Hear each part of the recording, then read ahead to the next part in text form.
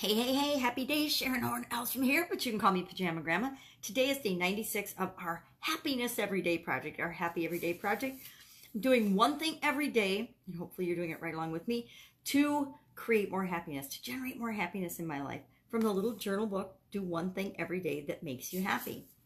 Now, today it's a sayings day, and it says, handy dandy magnifying glass because I got the wonky eyes, cherish all your happy moments they make a fine cushion for old age. And this was said by Christopher Morley.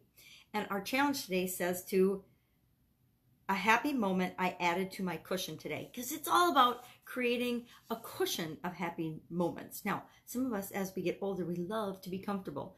I'm showing up in my pajamas, so I obviously love to be comfortable. Comfort, physical comfort, coziness, security, it's all very, very important to me. Might not be as important to you, but it is important to me.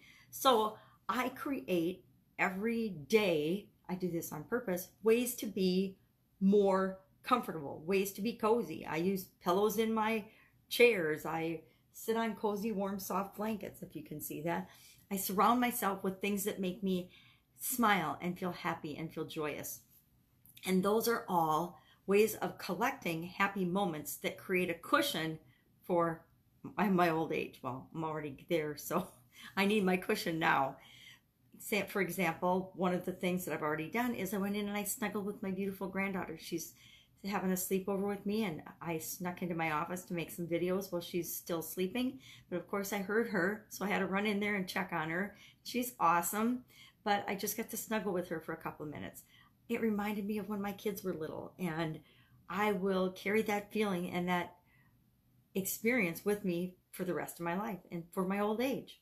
So create a cushion of old age today. Start today if you haven't been doing it already. And just recall some of the amazing happy moments from your past and know that those memories, those experiences that you've had are always with you and you can always call on them when you want to feel better, when you want to feel happy.